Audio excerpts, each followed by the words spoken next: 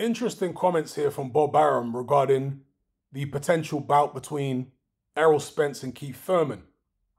Now, the reason this is interesting is because Bob Arum doesn't have a horse in the race here. In fact, Al Haymon is a rival of his. Al Haymon is someone who he hasn't always gotten on well with.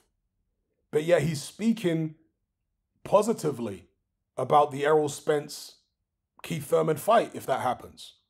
So he said, That's a good fight. Many people think that Spence has no problem with Thurman, but I disagree. I think he's got a good shot. He's got a good shot. He's a very skilled fighter. I give him a very good chance. Goes on to say, I think that's a very competitive fight. Spence probably will win, but Thurman will give him a hell of a fight. Right, those are the words of Bob Arum. What do you guys think? I have to imagine most of you disagree because Keith Thurman hasn't looked impressive for a very, very long time. When was the last time that he put in a performance that made people think that, okay, this guy is the, or, you know, number one or at least number two in the welterweight division?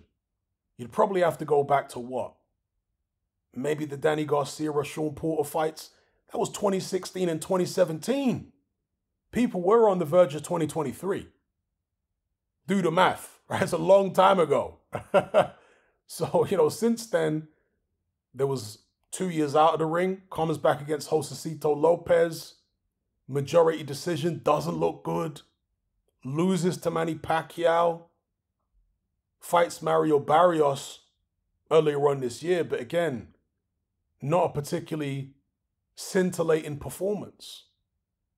So you look at Keith Thurman's recent fights and you think, he shouldn't be a problem for Errol Spence. I have to imagine most of you think that. But who knows? Sometimes a fighter like Thurman, who is quality, does have ability, did have some good victories in the past. When they get written off, they can come out with, let's say, a great performance out of nowhere. We saw that with Evander Holyfield most famously, right? Holyfield got written off after the first Bowe fight, comes back, puts in a great performance in a Bowe rematch, wins. He was written off after he lost to Michael Moorer. Uh, he had health problems apparently with his heart and stuff like that. Lost his boxing license for a while. Comes back, ends up fighting Mike Tyson. Nobody gives him a shot. He puts in a fantastic performance. Some people would argue that's the greatest performance of Holyfield's career. So he was, he became famous for doing that, you know, winning fights he wasn't supposed to win when he was supposed to be washed up. Can Keith Thurman channel some real deal Holyfield? He's going to need to in order to uh, even be competitive, I think, with Errol Spence.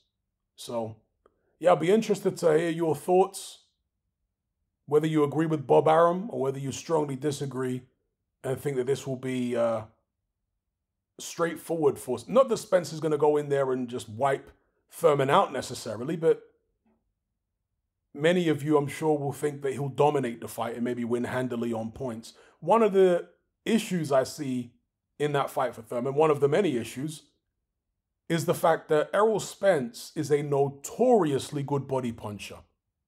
And Keith Thurman has a notoriously fragile body. Right? We've seen this guy hurt to the body on many occasions. And so him going in against Errol Spence, who will be by far and away the best body puncher he's ever fought in his career, it might be disaster for Keith Thurman. Do you know what I mean? It may be disaster. So we'll see what happens if and when they step in the ring. Let me know what you guys think.